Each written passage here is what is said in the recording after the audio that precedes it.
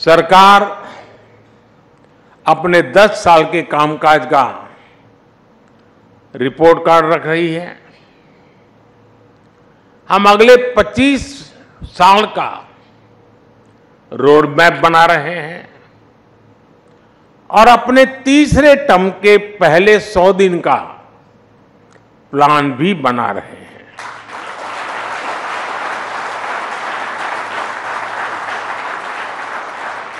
दूसरी तरफ़ हमारे जो विरोधी हैं, वो भी नए कीर्तिमान बना रहे हैं। आज ही उन्होंने मोदी को 104वीं गाली दी है। औरंगज़ेब कहकर नवाजा गया है। मोदी की खोपड़ी उड़ाने का ऐलान किया गया है। इन सब पॉजिटिव, नेगेटिव बातों के बीच दुनिया का सबसे बड़ा इलेक्शन जारी है। 2600 से ज़्यादा पॉलिटिकल पार्टियाँ, करीब सत्तानवे करोड़ मतदाता 97 करोड़ वोटर्स, करीब दो करोड़ फ़र्स्ट टाइम वोटर्स। लोकतंत्र के इस पर्व में हिस्सा लेने जा रहे हैं। मदर ऑफ़ डेमोक्रेसी के तौर पर ये हर भारतीय के लिए यहाँ इस हॉल में बैठे प्रत्येक व्यक्ति के लिए और आपके टीवी के दर्शकों के लिए भी उतनी ही गर्व की बात है। साथियों, आज पूरी दुनिया 21वीं सदी को भारत की सदी कहती है। बड़ी बड़ी रेटिंग एजेंसीज बड़े बड़े अर्थशास्त्री बड़े बड़े जानकार राइजिंग भारत को लेकर बहुत आश्वस्त है। और इन लोगों के मन में कोई इफ़ नहीं है बट नहीं है नो इफ़ नो बट्स आखिर ऐसा क्यों है?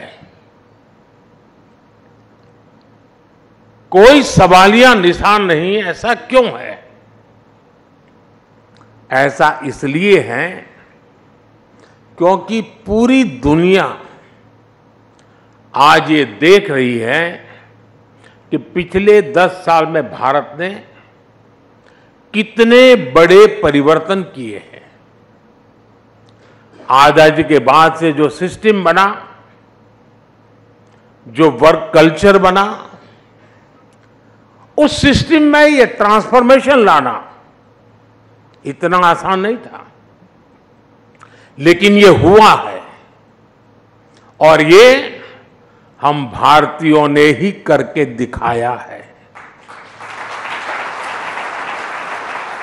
आज भारत का कॉन्फिडेंस लेवल हर भारतीय की बातों में झलकता है। आज हम विकसित भारत की बात कर रहे हैं। आज हम आत्मनिर्भर भारत की बात कर रहे हैं। और लोग चाहे विपक्ष में हो, देश के भीतर हो या देश के बाहर हो, सब भारत की उपलब्धियाँ देख रहे हैं। सिर्फ़ 10 साल में 25 करोड़ लोगों का गरीबी से बाहर निकलना, क्या ये ऐसे ही हो गया होगा क्या?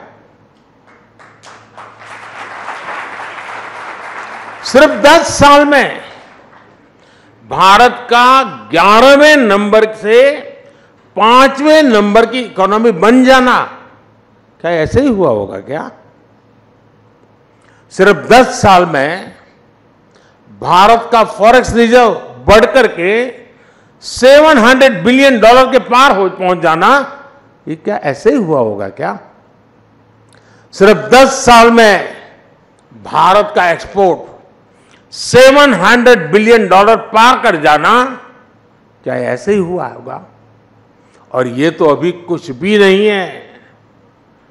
अभी तो और भी आगे जाना है